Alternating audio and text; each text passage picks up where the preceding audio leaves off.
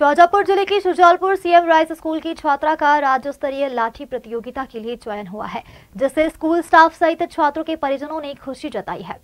सुजालपुर में Sharda CM rise विद्यालय की छात्रा रागिनी परमार ने उज्जैन में आयोजित संभाग स्तर प्रतियोगिता में उत्कृष्ट प्रदर्शन किया, जिसके आधार पर छात्रा का चयन राज्य स्तर पर हुआ है। रागिनी के पिता डॉक्टर महेंद्र परमार के अनुसार रागिनी ने जीएनएस महाविद्यालय के समर कैंप में लाठी का प्रशिक्षण लिया था।